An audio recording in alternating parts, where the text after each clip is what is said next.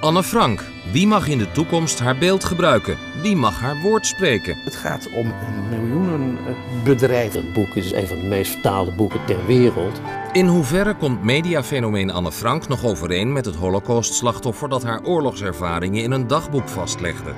Het is nou een, soort heilige. Because in spite of everything, I still believe that people are good at heart. Medialogica, vanavond op NPO 2.